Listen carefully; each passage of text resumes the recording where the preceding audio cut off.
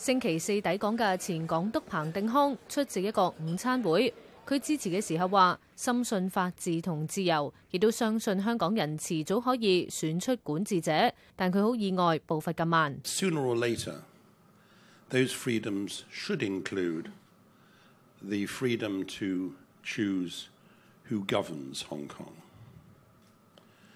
I think 20 years after the departure of the colonial oppressor, it's a bit surprising that democratic development hasn't happened rather more rapidly.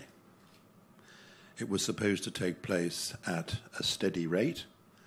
The steady rate seems to be pretty slow. 彭定康表示，港独唔会发生，将民主同港独混淆，会冲淡社会对民主嘅支持。 So, in my view, it would be dishonest, dishonorable, and reckless of somebody like me to pretend that the case for democracy should be mixed up with an argument about the independence of Hong Kong.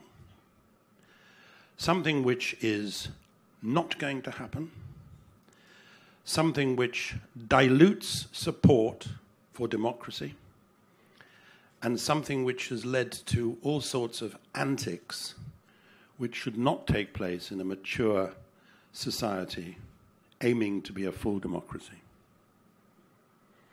I think two years ago, many brave young people in Hong Kong established moral high ground about democracy and governance. And I think it would be a tragedy if that high ground was lost 彭定康又提到宣誓，认为宣誓系好严肃嘅事，唔应该同言论自由等混为一谈。 Taking an oath is a serious business. I think it's mistaken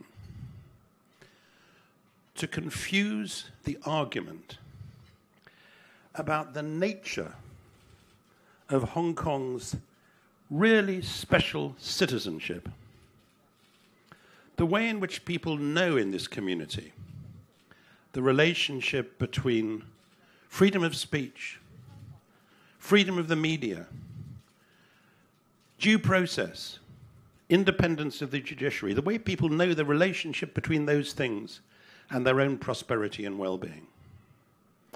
I think it's a mistake to confuse that with some headline grabbing remarks about independence.